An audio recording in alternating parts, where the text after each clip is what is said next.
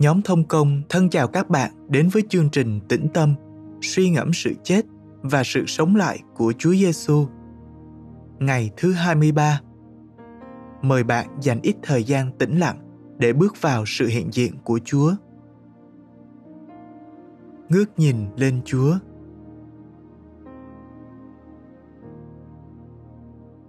Ca thương 3, câu 21 đến câu 26 nhưng khi nhớ lại điều đó, thì con có niềm hy vọng. Nhờ lòng nhân từ của đức giê-hô-va mà chúng ta không bị tiêu diệt. Lòng thương xót của ngài không bao giờ dứt. Mỗi buổi sáng, lòng thương xót của chúa tươi mới luôn. Sự thành tín ngài lớn biết bao. Tôi tự nhủ, đức giê-hô-va là sản nghiệp tôi, nên tôi hy vọng nơi ngài. Đức Giê-hô-va nhân từ với những ai trông đợi Ngài, với linh hồn nào tìm kiếm Ngài. Thật tốt cho người yên lặng trông chờ ơn cứu rỗi của Đức Giê-hô-va.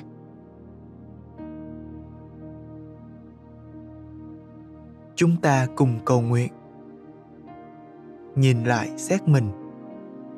Lạy Đức Chúa Trời toàn năng, Ngài đã tạo nên thế gian này và điều đó là tốt lành nhưng tổ phụ đầu tiên của chúng con đã sa ngã trong tội lỗi, và chúng con đã thừa hưởng sự đổ vỡ đó từ khi ra đời. Chúng con biết rằng chúng con đã quay lưng lại với ngài. Chúng con thờ lại thần tượng, và chúng con tìm kiếm sự vinh hiển của riêng mình. Chúa ơi, xin tha thứ tội lỗi chúng con, và làm mới chúng con trong ân điển của ngài, để chúng con có thể rao sự cứu rỗi cho thế gian trong danh Chúa và cứu Chúa Giêsu Christ của chúng con. Amen. Ngẫm suy lời Chúa. Mời bạn cùng lắng nghe câu chuyện Phúc âm mát chương 12 câu 41 đến câu 44. Đức Chúa Giêsu ngồi đối diện với thùng lạc hiến và quan sát dân chúng khi họ bỏ tiền vào thùng nhiều người giàu bỏ vào rất nhiều tiền. Cũng có một bà quá nghèo đến bỏ vào thùng hai đồng tiền nhỏ, trị giá một phần tư xu. Ngài gọi các môn đồ đến và bảo, thật, ta bảo các con, bà quá nghèo này đã bỏ tiền vào thùng lạc hiến nhiều hơn tất cả những người khác. Vì những người khác lấy tiền dư bạc thừa mà dâng còn bà quá này rất nghèo túng nhưng đã dâng tất cả những gì mình có, là tất cả những gì để nuôi sống mình.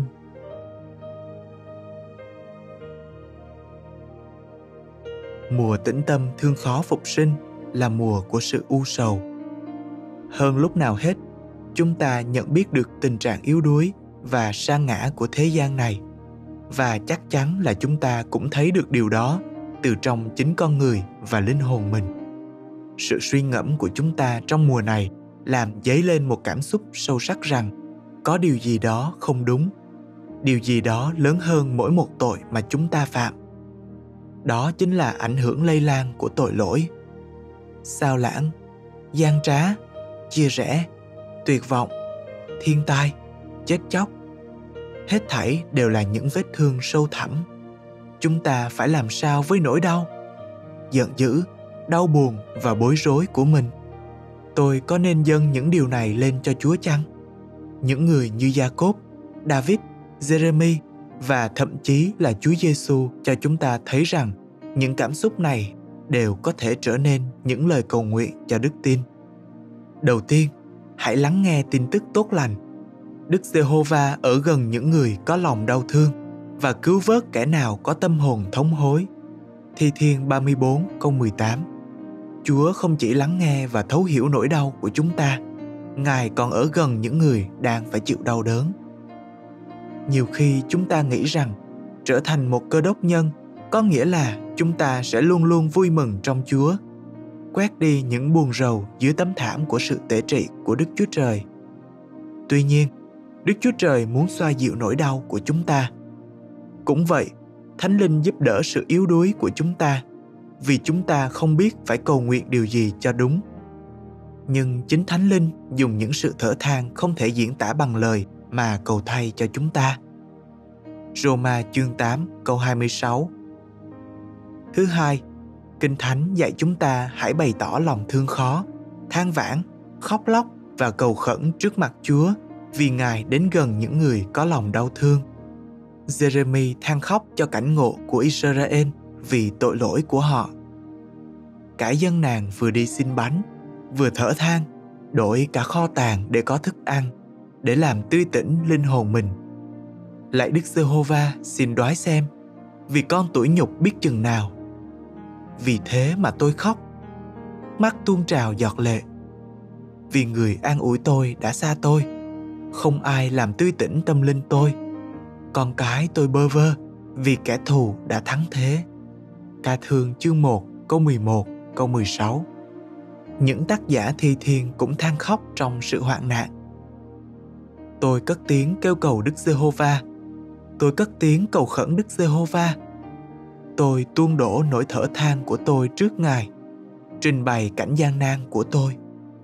Thi Thiên 142 câu 1 đến câu 2 Chúa Giêsu than khóc cho Jerusalem. Hỡi Jerusalem, Jerusalem, người giết các nhà tiên tri và ném đá những người được sai đến với người. Đã bao lần ta muốn tụ họp con cái ngươi như gà mẹ túc con mình lại, ấp ủ dưới cánh mà các ngươi không muốn. Matthew chương 23 câu 37 Mùa tĩnh tâm thương khó phục sinh không phải là chỉ để nói ra những băn khoăn, mối lo trong lòng mình, mà hơn hết là để giao phó những điều đó cho Đức Chúa Trời và đặt lòng tin nơi Ngài. Tĩnh tâm thương khó phục sinh là một hình thức cầu nguyện. Tĩnh tâm thương khó phục sinh biến đổi sự kêu khóc và than phiền của chúng ta thành sự thờ phượng. Walter Brueggemann nói rằng, sự than khóc trong Kinh Thánh là mối tương giao giữa người than khóc và Chúa của người đó. Mối tương giao này gần gũi và sâu sắc đến nỗi người đau khổ cùng cực đó có thể như ra lệnh xưng Chúa là Ngài và nhắc Ngài nhớ lời hứa giao ước của Ngài. Mỗi người đều có thể than phiền. Thực tế là ai cũng đều than phiền. Cơ đốc nhân có thể than khóc. Họ có thể nói chuyện với Đức Chúa Trời về hoàn cảnh của mình và xin Chúa thay đổi bởi vì họ có mối tương giao với Ngài. Than khóc chính là trở nên thành thật tuyệt đối trước Đức Chúa Trời, đấng mà chúng ta tin tưởng. Sự than khóc trong Kinh Thánh quả quyết rằng sự chịu khổ là thật và một phần quan trọng trong đời sống thuộc linh, chứ không phải tuyệt vọng. Trong ơn thương xót của Đức Chúa Trời, Ngài đã ban cho chúng ta một ngôn ngữ có thể khiến đôi tai Ngài lắng nghe và trái tim Ngài đập mạnh. Câu hỏi suy ngẫm có điều gì làm lòng bạn bị tổn thương có điều gì trong sự đổ vỡ của chính mình làm bạn thất vọng và đau đớn không? Bạn thường đối mặt với những cảm xúc này như thế nào? Bạn có thể dâng những điều này lên cho đức chúa trời không?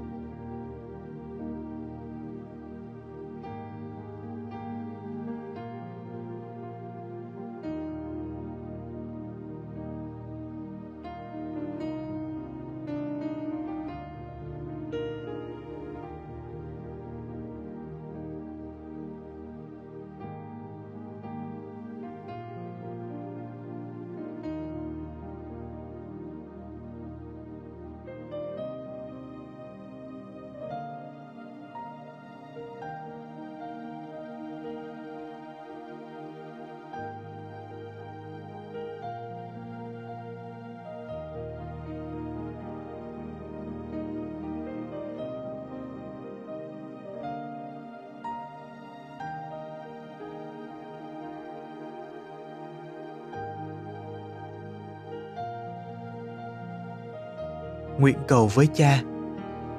Chúng ta nghe Chúa Giêsu phán: Đức Chúa Trời của con ôi, Đức Chúa Trời của con ôi, sao Ngài từ bỏ con?